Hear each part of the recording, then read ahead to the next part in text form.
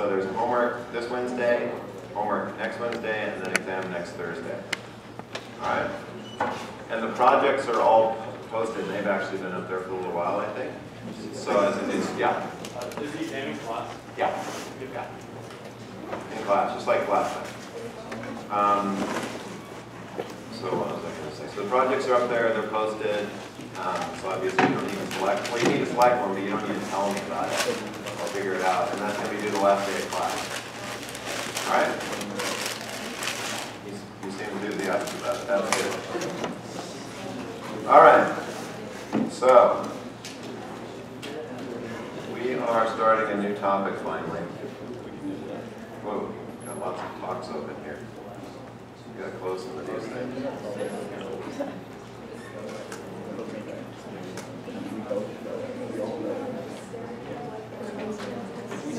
All right, so, um, and I got my pointer working again, I think, yeah. So this is what we're gonna start talking about today. So, um, maybe we should put a projection mode. That'd be good. All right, so at this point, I think you can agree that we, we've beaten this problem pretty much to death? Sets of linear algebraic equations. Gonna be a major focus, obviously, of the second exam. Um, and so now we want to move to sets of equations that are actually not linear, okay? And so we're going to write those kind of equations like this. So we don't know, like they're linear, that written like this, but if they're not linear, that it's going to, let's say it's a single, let's say you have a single variable x, this would be a single function and a single unknown. You don't know what the function f is until I give you the problem. This just indicates it's not linear. If it's linear, I'd write it like this, okay? So this would be a single nonlinear equation and a single unknown x, and we want to solve it. Okay. Solving this equation will prove more challenging than solving these. Because it's the nature of equations when they're nonlinear, they're much harder to solve than linear equations. Okay? So I'm going to start out by introducing this concept of equation systems. So you might have a single equation and a single unknown, or you might have five equations and five unknowns, whatever. We'll only be talking about systems that are square, meaning same number of equations as unknowns. Okay? I'm going to introduce the first method. All the methods to solve these equations we're going to talk about are so-called iterative methods. By iterative method, it means you guess the answer, and then it goes through an algorithm and gives you a new guess that you use again, and you just go around and around. Okay? So we're going to talk about three different iterative methods, and we're going to, I'm going to introduce what an iterative method is to begin with. And today we'll talk about the first, but the least effective iterative method, which is called fixed point iteration. Okay? And then I'll illustrate these with three or four or five examples, I don't remember exactly. Okay. And I'll give you a little bit of theory for each of these methods explaining when they work. Okay. So by work, well, till we get to iterative methods, but but by work, you mean it converges to the right answer. You know, you've got this iteration taking place, you'd like it to actually solve the real problem. And you'd like it to do it fast, right? So if you had a method that got to the right answer in three iterations, that'd be a lot better than it took 300 iterations. So speed matters, we'll talk about that. All right, so turn off the lights briefly I throw in the board, if you don't mind. All right, so this is what we're talking about, which I wrote on the board. So we got, a, in this case, I'm depicting this to be a single nonlinear equation and a single unknown. Okay. And in generally speaking, there's not going to be an analytical solution to this problem. You know, depending on the function f, there might be. But pretty much the only analytical solution that we know is for like a quadratic equation, for example. But this is, in general, this can be an arbitrary nonlinear function f. And again, when I write it like this, I'm just telling you that the function is nonlinear. I'm not telling you what the function is yet. I'll tell you what the function is every time I give you an example. Okay. So generally speaking, we're not going to be able to solve this analytically, so we have to come up with numerical techniques to solve it, and that's what these iterative methods I'm talking about are. Okay. By solution, obviously, we mean something like this. If you find a value x that is equal to s, and you plug that value s into the function equals zero, that's a solution. It's not very complex, right? Um, thing is, there might be more than one solution. So if you have you know, a linear algebraic system and it's, it's nice, right? Like the matrix is square and it's full rank, it's invertible and all that, there's only going to be one answer, right? Um, but for a nonlinear system, of equations or a single nonlinear equation, you might have more than one answer. So here's a, here's a problem you obviously know. So quadratic equation, that's a nonlinear function. Maybe I should explain why it's nonlinear. It's nonlinear because you have x squared. So anytime you have something like x, you know, a power of x or 1 over x or a nonlinear function of x like log of x, e of x, those are all nonlinear functions. Okay? Most of the problems we deal with in chemical engineering are, are going to be nonlinear. So if you were to write out models and systems and you want to solve them, generally they'll be nonlinear. Not always, but usually. So I have to work usually when I'm, I want to come up with a linear problem, I have to work at it. If I want to come up with a nonlinear problem, it's usually very easy. So I, I guess what I want to tell you is nonlinear equations are the rule, not the exception. If anything, the linear equations are the exception. Okay. All right, so if we looked at this equation, you can plug this in the quadratic equation, you see these are two solutions. Okay. So one equation, it has two solutions. All right. Um, there might be no solution to the equation, right? So here's, here's an equation that has no solution. Right? There's no value of x where e dx equals minus 1. Okay? So, you know, the solution may not exist, or even if it does exist, it may not be unique. So we'd like to understand when that's going to be the case. And I gave you this toy example here because you can easily see these as solution. In general, you know, we're not going to be able to easily find the solution by hand. All right. Now, you guys have never had Professor Munson, right? He's teaching the other section of 361. Nice guy.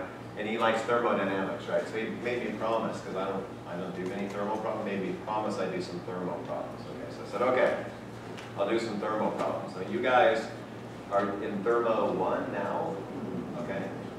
And, you know, I should know this obviously, but have you, have you guys done equations of state in that? Okay. Have you done fluid phase equilibrium in that? Okay, well, we'll see that in a minute, but, so you may have seen this equation of state, right? Everyone knows the most famous equation of state for, for a gas is the ideal gas law, right? So if you have a nice gas at low pressure, then it usually will follow the ideal gas law. But if you either have a naughty gas or you have a gas at high pressure, it'll deviate from the ideal gas law. And so you've seen the van der Waals equation of state, for example. You guys cover that? Okay, so this is the this is one of the well-known equations of state that is um, for deviations from ideal gas behavior called the Redlich-Kwong. I guess you've seen it because I see you shaking your head. Okay.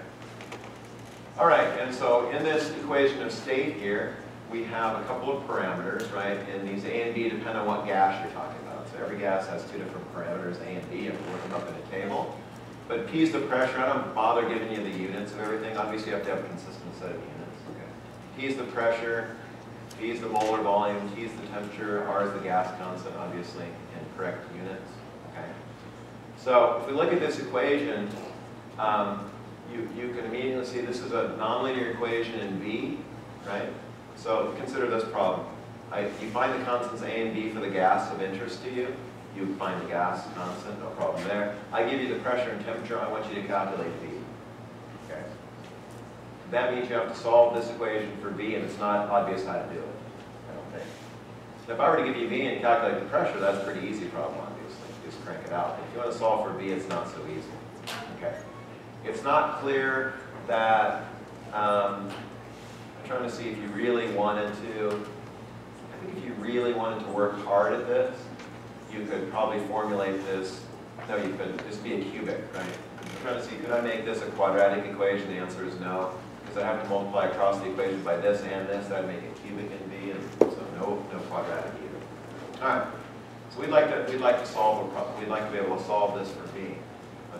And generally speaking, when you get a complex set of equations that look like this, you don't even think, can you manipulate them and solve them analytically, you just immediately solve them with mathematical numerical, okay? So if I saw an equation like this, I, I would, that's why I just thought of it just now, I wouldn't normally even think, let's see if I can manipulate this to be some other equation I can solve analytically, I would just solve it right away, numerically, mathematically, which I'll teach you how to do, obviously. All right, so there's an example of one equation, one unknown, right? One single equation, the unknown is B. Um, generally, for most problems of interest, at least lots of them, you're going to have more than one equation, you're going to have more than one unknown. Okay? So it's going to be a system like this. Okay? So we have functions. Where do these functions come from? It matters what problem. I'm about to give you a problem. I kind of thought you guys had fluid phase equilibrium, so anyway, I'll go through fluid phase equilibrium for you. Um, so this would be a set of equations you get from thermodynamic uh, relations. It could be from material and energy balances. It could be momentum balances, whatever. Okay. So we have n equations. So this is the first equation here. Okay. It potentially involves all the unknowns. So we have n equations. We have n unknowns. Okay, which is what we're always going to have for what I talk about. And so this function here, I, if you don't know what it is, you just know it's nonlinear, and potentially it depends on all those variables, all n of them. It might just depend on a subset of them, but generally speaking, it can depend on them all. Then you have a second function on all the variables until you finally get down to n. Okay, this is very cumbersome to write. This is the scalar form. It's like writing ax plus b, where you say, you know, put out all the elements of a. It's painful to write it that way. So we prefer to write it like this. So we define a vector x. It's all the unknowns stacked in a vector, as usual. No surprise there. And now, instead of a matrix A here, this system's not linear, so matrix doesn't make any sense. We're going to create something called a vector function. So we're going to put all these functions in a vector and define a boldface that's called a vector function. Each component of that is a function. Okay? And then we're going to be able to write this set of equations like this, right? So you have this vector function, and, and the vector function depends on x, which is the set of variables. So this is an equivalent way of writing that. Okay? Just it's much more convenient to write it this way. All right. So if we have a vector set of equations like this, then a solution means a vector, right? If I want to find a solution to this equation, I need to find a vector x, and I said it's some vector s for solution, that when I substitute this into the, these sets of equations, they're all zero. Okay. But this is not very complex. so it's like what does a solution mean? It means I found an x that solves the problem. Right? I found a set of x values called s1, s2, s3, all the way down to sn. And when I substitute that x vector into this set of functions, it makes every one of those functions zero. It's a solution. Might be more than one, okay? Might be more than one solution, but that would at least be one solution. All right, so again, problem might be, might have a solution, the solution might be unique.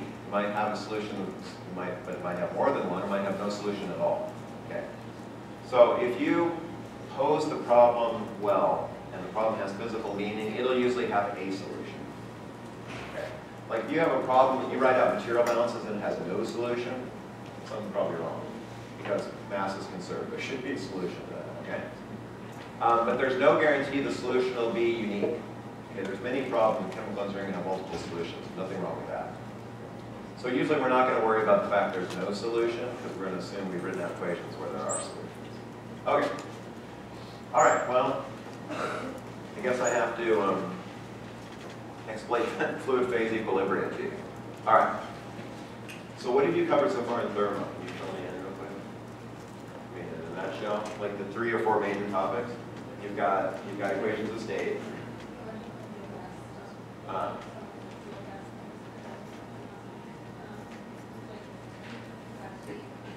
oh, like okay. All right. Carnot efficiency and that kind of stuff. All right. All right. All right. All right. Well, I guess it's in thermo too, which is this is one of the challenges of this class, right? Is that usually I used, I used to do all kinetics problems, and I realized okay, you guys haven't had kinetics. So I, I thought you had well, whatever. All right. So fluid phase equilibrium. I better draw a picture here. Okay. Think of the problem like this. You have a vessel.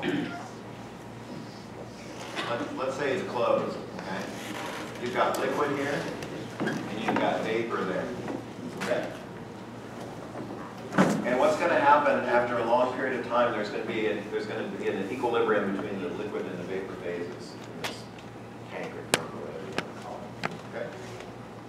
And this equilibrium is going to be described by a set of equations that, let me see what we used for the, for the gas phase. We're going to write equations of state basically for the gas phase and for the, um, oh, we're assuming the gas phase ideal. Okay, so the usual assumption when you do this fluid phase equilibrium is, here's what you normally want to do. Someone either gives you the composition, so we're going to assume a binary mixture. Okay?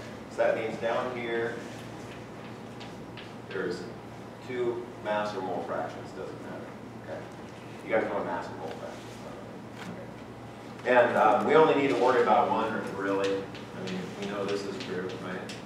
So someone might give me the mole fractions of the two components in the liquid, and I want to calculate what the mole fractions are in the vapor. They're not the same. Okay. So I might want to calculate the mole fractions up here. Okay.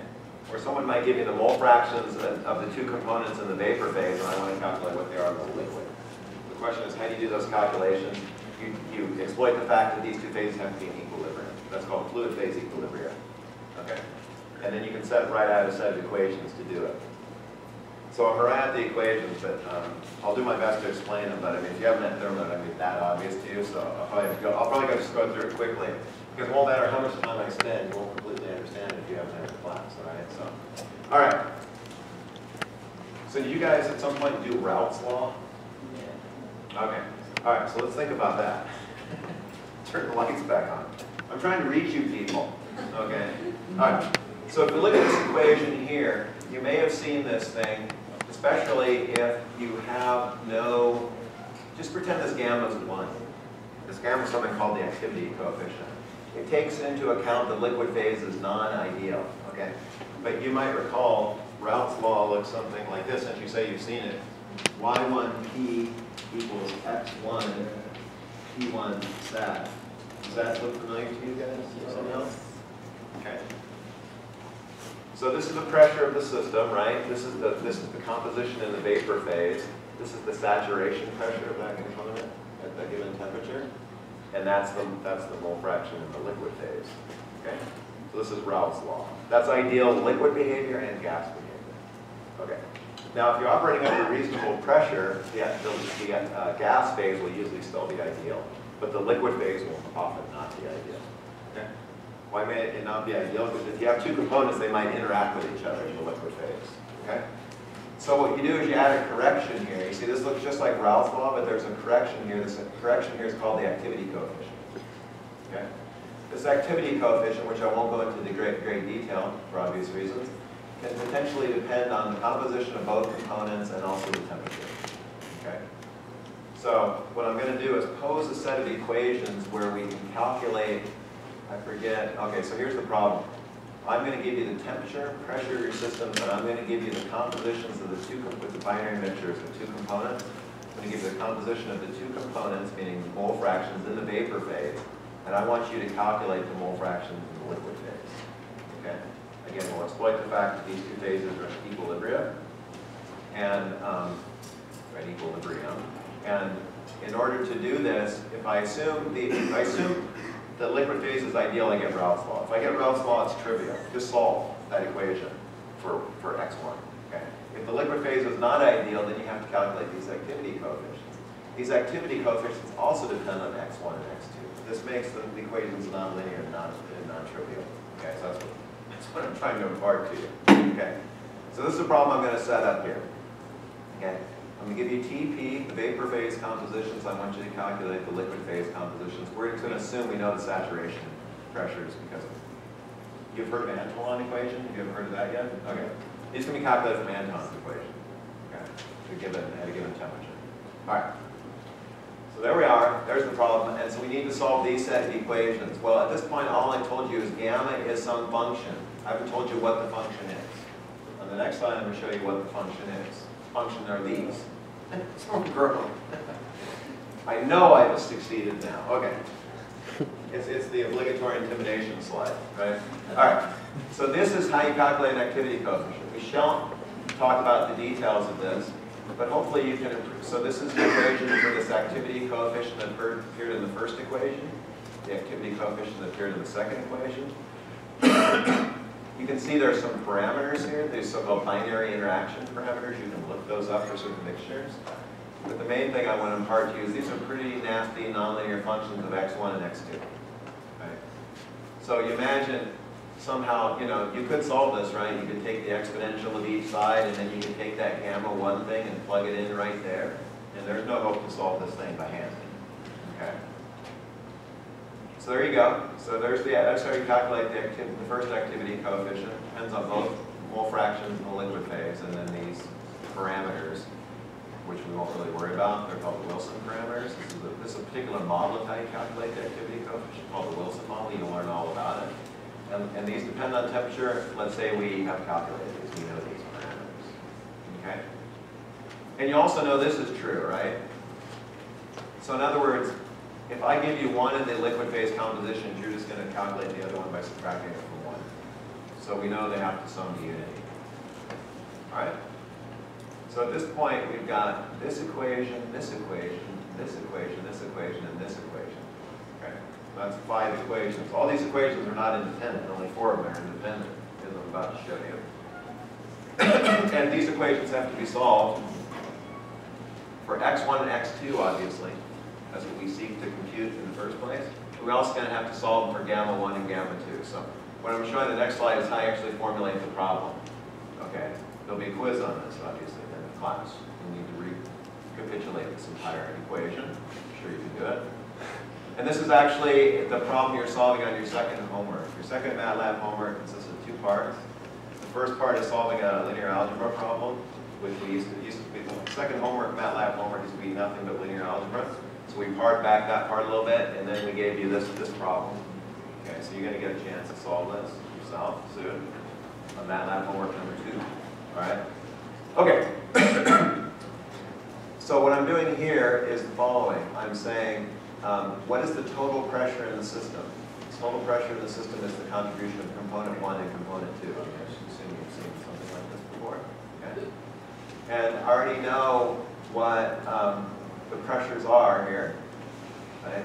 So if we go back, I'm sorry to keep moving around.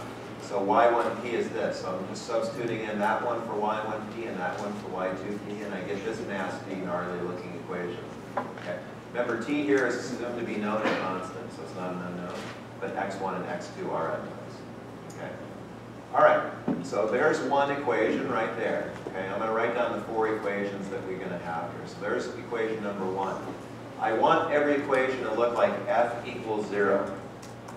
Okay, so I'm just going to rewrite this equation as f equals zero by just putting everything on the left-hand side of the equation and equating it to zero, right? Bring everything onto the left or on the right, it makes no difference. But I brought everything on the left, rewrote that first equation like this. There's equation number one.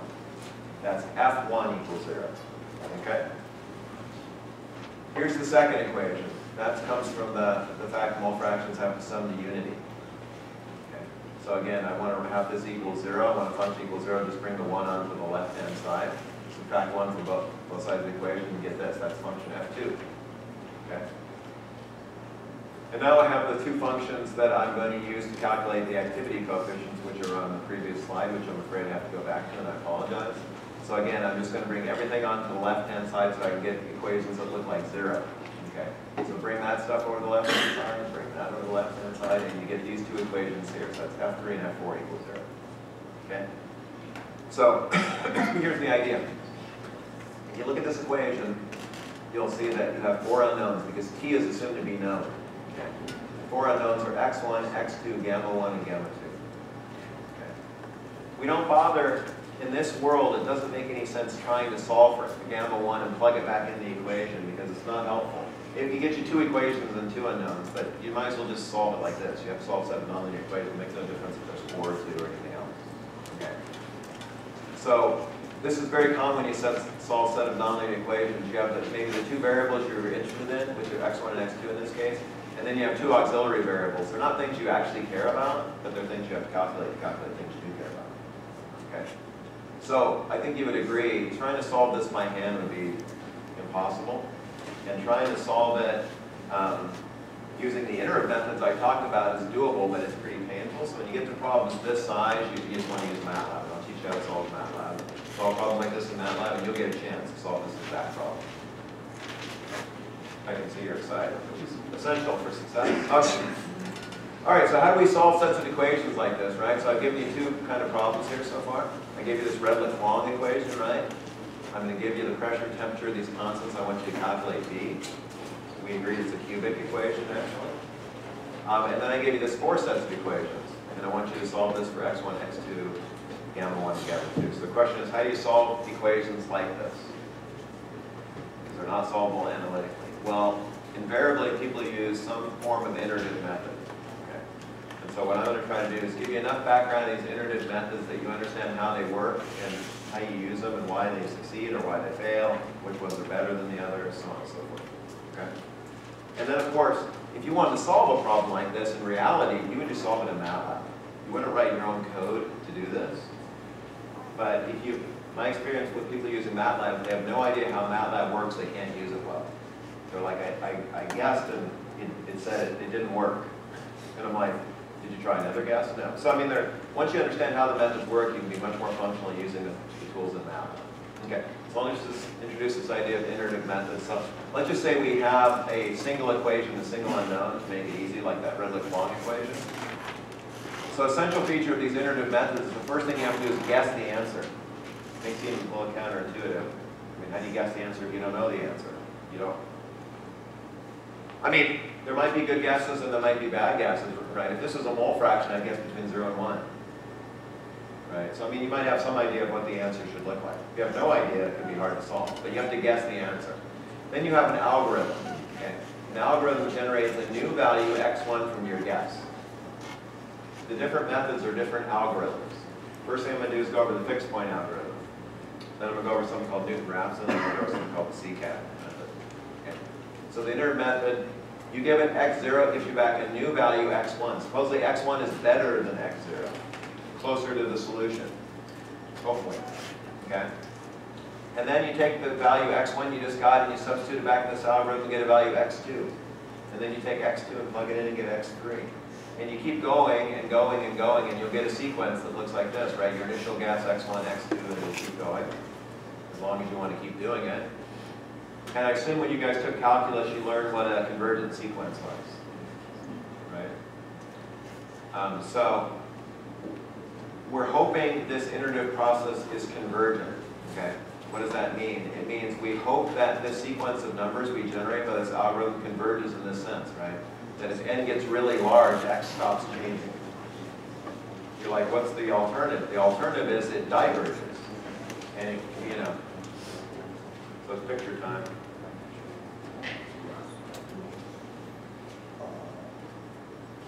So by um, convergent, I mean that if you plotted, let's say, x versus the iteration here, so you start at zero, and then you have one, and you have two, and then you have three. So you guess a number here, right, and then it generates a number here, and a number here, and a number here. Eventually, you know, it stops, stops changing. That's convergent. Doesn't mean it converges to the right answer. It just means it stops changing. Another possibility is you guess here, and then that's it. And it just takes off. Okay? Meaning goes, goes it, the iteration diverges. Okay? That's not good. All right? Um, so this is what we want. We'd like this iterative algorithm we come up to be convergent in this sense. Okay? Um, but even if it's convergent in the sense I described here, you can't really afford to go to infinity. It's kind of a long time. So the idea here is usually you stop. You have certain criteria to stop whether you keep doing this. Okay? Usually I have two criteria for stopping. One is you measure how much the solution is changing from one value to another. And if this, if this difference gets really, really small, you stop. The other thing is you have a maximum number of iterations. Like I think MATLAB is maybe 200. If you keep doing this 200 times, it concludes it's not going to find the answer. It just stops. And it gives you a message. And the reason going over these algorithms is so important is when MATLAB gives you some message, you can interpret it to mean it either succeeded or failed. And failed, why did it fail? Okay.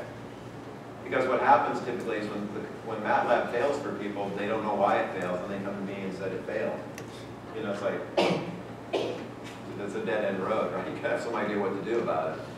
So, might stop this, we'll talk a little bit more. This quits changing, you know, very small amount. By small amount, well, I'll tell you what I mean later but very small, or a maximum number of iterations. Then we'll say we're sufficiently close to the solution. So, you know, you may not be exact to 100 significant digits, but you might be correct to five or six. It's good enough. Okay? All right. So, here are some issues that we would want to consider. Okay. Um, I've always wanted a slide where I ask questions, you know.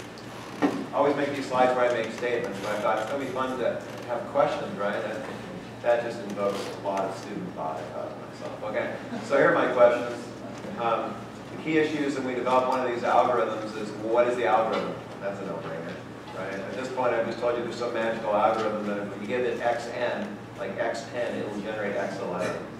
What should that algorithm be? We're gonna talk about three of them, actually. How can we ensure the algorithm works? By algorithm working, I mean it converges, right, and it converges to the right answer. The right answer means you, it's a solution to the original equation, f of x equals zero. Another question is, how do you guess that, how, how do you make this initial guess, okay? How does, how do you go about doing this? And even though not said here, one of the questions is gonna be, how sensitive is the algorithm to initial guess? In other words, if the answer is two, and to get it to work, you have to guess between one point nine nine and two point oh one, that's entirely useless, right? So you gotta be able to guess kind of far away from the answer and work for it to be useful. And then the other thing is, how you gonna stop the algorithm? So once you've gone and got sufficiently close, what's the criteria you're gonna use to actually stop it? All right, so here's what we're gonna talk about. We've got three different algorithms. One is fixed point, that's what we'll talk about today. It's not very, it's simple, but it's not very good, to be frank with you. And I think I'm gonna go over several examples of it, when it works and when it doesn't work. Um, next time, we'll talk about Newton-Raphson. That's the preferred method, in my opinion. And almost all numerical codes of any value of any significance are somehow based on this particular method. More sophisticated methods, but, but basically a variant of this. And then the secant method is actually a variant of the Newton-Raphson method. The Newton-Raphson method, you might imagine if I, if I give you a problem like this, and I say, um, I want to solve the equation f of x equals zero. Right? I want to solve this equation. And, and this algorithm I'm going to come up with, it shouldn't surprise you if the algorithm requires the function f. Not in the world you're going to find a solution to f of x equals zero if you don't use the function f. Right? So all these things use the function f, obviously. But the thing that makes Newton-Raphson unique is that it also uses that. So it, you have to give it not only the function f, but the derivative of the function f with respect to the thing you're looking for. Okay? Um, this creates a lot of computing effort in many cases, as I will explain to you tomorrow, but it makes the algorithm super, super fast and it's usually super robust. It really works well. Okay? So all the MATLAB codes are based on some variant usually of that. The secant method is, is a kind of a modification of the Newton-Raphson where you don't need this information. Because, you know, computing this derivative information is, is often, and I'll talk about that next time, is computationally expensive. For small problems, it makes no difference, right? But if you get to, like, if you get to a big problem, like a thousand equations, a thousand unknowns, then you've got to calculate, what, a million of these derivatives. Every function with respect to every variable. It gets expensive. I didn't know I was playing video in the background. Okay. That's fine. All right, so let's talk about fixed point method. Okay, so let's say you have this equation here. So you have this equation f of x equals zero. There's many different ways to generate this fixed point algorithm I'm going to talk about, but just consider the following. This is one of infinite number of ways. I'm going to take and add f of, I'm going to add x onto both sides of the equation. Right? I can do that if I want. Add x onto both sides of the equation. I'm going to find this new function over here